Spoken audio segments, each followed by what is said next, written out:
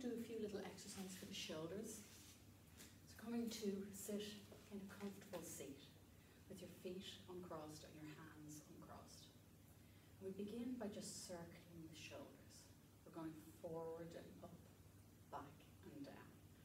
Forward, up, back and down.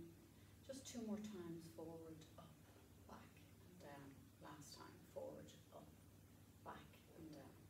Then going in the opposite direction, shoulders come back, up, forward and down, back, up, forward and down. Last two, up, forward and down. Last one, back, up, forward and down. This time squeezing the shoulders up towards the ears and then slowly lowering the shoulders back down. If you feel like giving the shoulders a little movement from side to side, please do that. And then doing this again three more times, squeezing the shoulders up, slowly lowering them down. One more here. And then last one, four. This time we're going to lift up the arms. So bringing them out to the sides, the elbows are bent, palms are facing forwards, and you're lifting the arms up overhead, only coming up as far as is comfortable. If you find that your elbows need to soft, then keeping that softness to them. But bringing the elbows back as far as is comfortable, so you may feel a stretch across the armpits, the upper arms, across the top of the chest. So only going as far as is comfortable, reaching up overhead, coming back down by the sides. Two, three, four, and we'll do this six times. Five, and six. Bring the hands back down and just letting them relax. Back of the hands resting on the lap, giving the shoulders a little movement again, forward and back, just bringing that softness as best as you can into the shoulders. This time, bending the elbows again, but we're going to bring the forearms towards one another, so coming across the chest. And as you do this, you're rounding your back. We do this six times.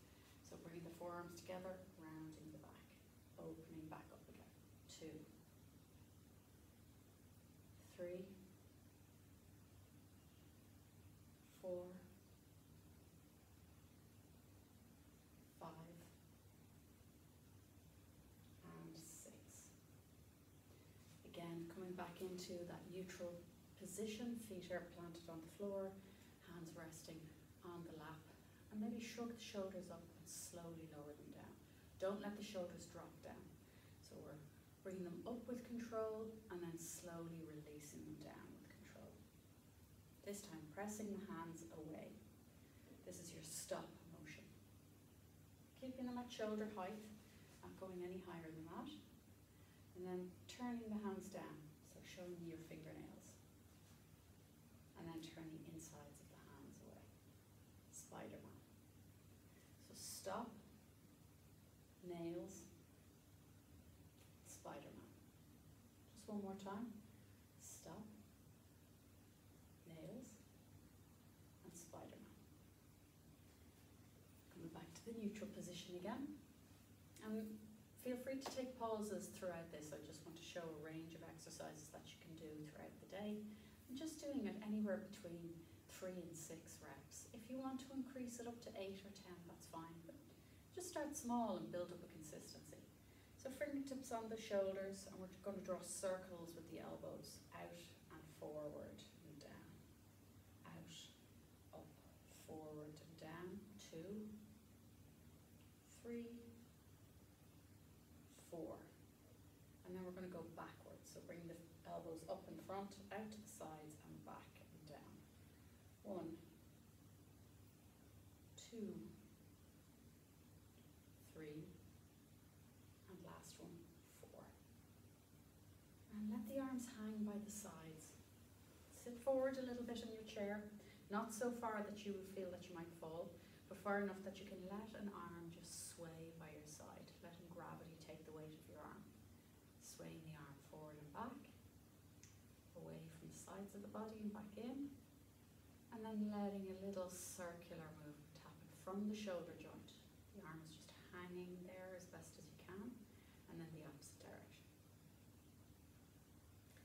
the other side, let the arm hang, sway forward and back. And then out from the side and back in. Just doing it a couple of times. Again, it can be just intermittently throughout the day. And then a little circular movement one direction and the opposite direction. Coming to sit right back into your seat. And if you like to use a resistance band, we're just going to do a little bit of strengthening in the arms, the upper arms. So always remember not to lock the elbows. If you hyperextend them, if you're double jointed, or if you hyperextend, it can cause a, a kind of a sharp pain in your arms. You don't want you don't want to introduce any pain. So it's no pain, no pain. So pulling on the resistance band so that you get a little bit of resistance where you're, you're pulling them apart, your hands apart. You're sitting up nice and tall, but the shoulders stay down. And lifting the arms up to shoulder height and lowering back down, keeping that resistance on the band. Two, three, and four. This time we're going to lift the arms up overhead for four.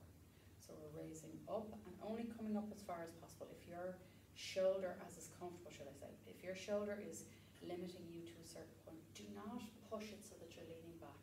Just coming up to where the shoulder joint wants to come up to, lowering back down to shoulder height. So raising the arms up and down. Just two more times. One and two. Lowering all the way back down. The arms may feel a little bit tight and sore. Again, just them by your sides and you can shake out through the hands, letting all the tension out of the arms, letting that reinvigorated circulation travel down through the arms, right down to the fingertips and down to the thumbs. So nice circular movements of the wrists in one direction and the opposite direction. And we'll do our stop, nails, Spider-Man again. One last time, shaking out through the hands. You like to take a few moments just to rest and notice how the shoulders are doing, how the arms are doing, and repeat as necessary. So you can go back and do um, more repetitions if you like, or just running through this little video uh, once a day, twice a day, whatever, whatever suits. Just taking your time, or else interspersing the little exercises throughout your day if you can. Take care. I hope you enjoy.